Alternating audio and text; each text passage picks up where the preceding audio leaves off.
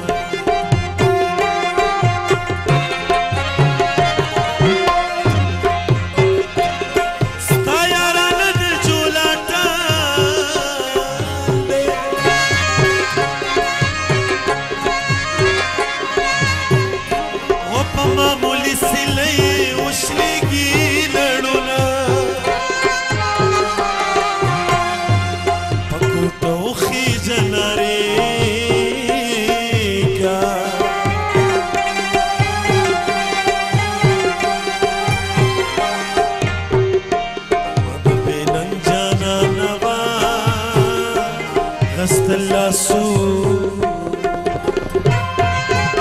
ګل را سره و جړل ازغو را سره و جړل ګل را سره و جړل ازغو را سره و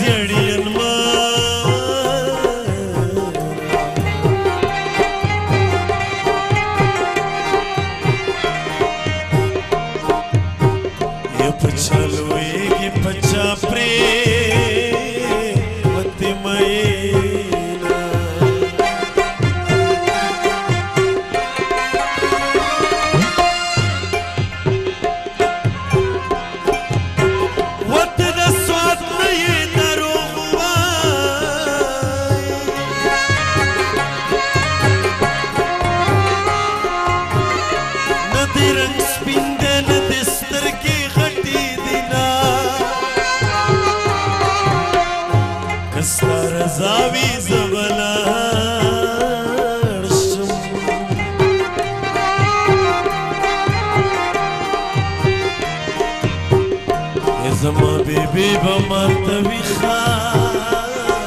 نستوی نکوی تپو